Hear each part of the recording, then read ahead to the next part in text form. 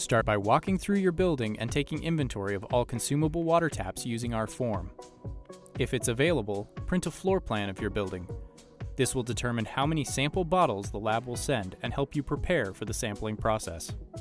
A consumable tap includes any sink used for food preparation, faculty room sinks, drinking fountains located in hallways and classrooms, water lines to ice machines, and any outside water source used for drinking. Any sink used only for hand washing or dishwashing does not need to be included on the inventory list. You'll want to create a unique name for each fountain or tap and enter it on the form. The name should help you to identify each fixture again once you're ready to collect samples and when you get your results back. When all consumable taps are identified and named, submit the school fixture inventory form.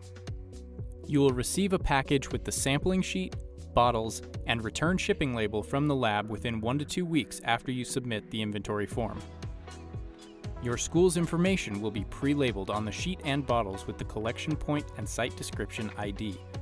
You should have one bottle for each row on the sampling sheet. To prepare your taps for sampling, make sure each tap is out of service for a minimum of 8 hours, but no more than 18 hours. Do not gather samples after vacations or weekends. The water will be stagnant and will not represent the use of a typical day. If you're collecting samples during an extended break or holiday, flush each tap the day before.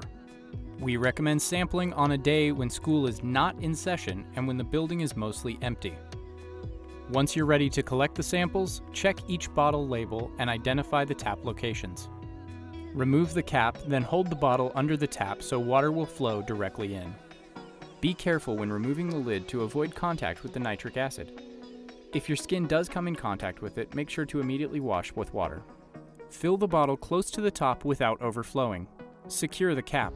Be sure to write the collection date, time, and your initials on the bottle and inventory sheet. Place the bottle back in the box.